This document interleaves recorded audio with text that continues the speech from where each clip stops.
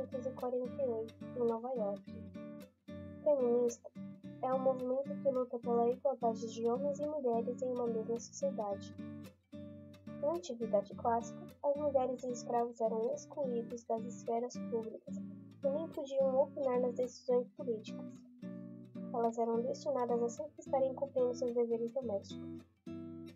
Século XIX, surgiram os primeiros movimentos organizados de mulheres que se tem registro na história moderna. Elas exigiam que os direitos conquistados pela Revolução Francesa não ficassem restritos aos homens. As feministas intelectuais dividiram esse movimento em duas partes.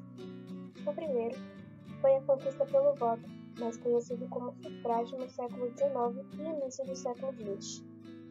O segundo é sobre as ideias e ações associadas com os movimentos de liberação feminina, iniciados na segunda metade da década de 1960, que lutaram pela igualdade jurídica e social das mulheres. O terceiro se iniciou na década de 1990. Foco no terceiro momento era corrigir as falhas e dar continuidade ao segundo momento.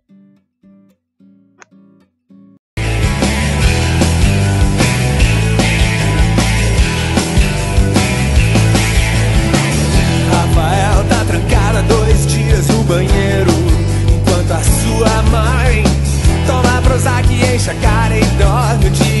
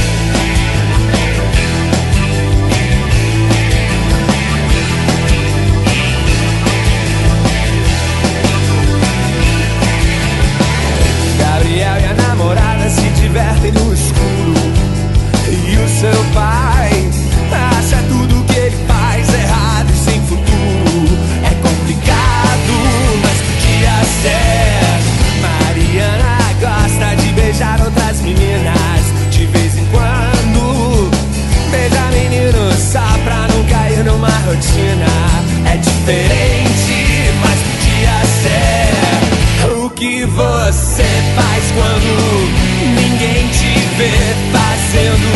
Ou o que você queria fazer se ninguém pudesse te ver?